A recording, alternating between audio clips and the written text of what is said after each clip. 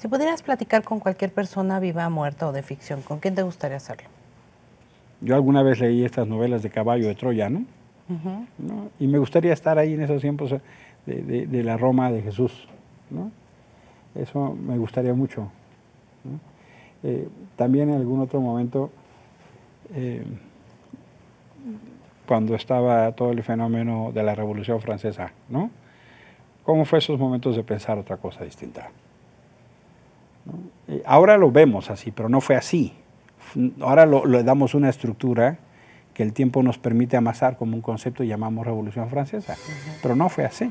Claro. Fue un fenómeno que se fue viviendo. Ahora decimos, es que la Revolución, la Bastilla... No, o sea, fue un, momento que me hubiera gustado conocer. Me hubiera encantado conocer Tenochtitlán, antes de la llegada de los españoles. Eh, cuando uno ve las maquetas, ¿no?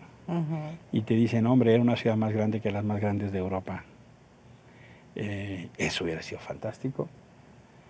Me, encantaría, me encantaría conocer la China de la muralla. O sea, es que esos imperios, hace dos mil años, ya estaban haciendo producciones en masa cuando hicieron los guerreros de terracota. O sea, lo que vemos es, los guerreros de terracota son una pequeña muestra de lo que hay ahí enterrado. Claro. Hace dos mil años. Impresionante. ¿no? Esa, esa, volteamos poco a ver Asia. Mm.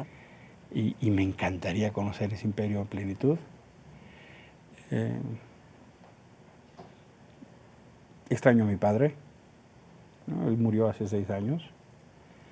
Eh, durante muchos años, diez años, eh, nos íbamos juntos al trabajo. Él era el director de Sencos el Centro Nacional de Comunicación Social que fundó en el 64.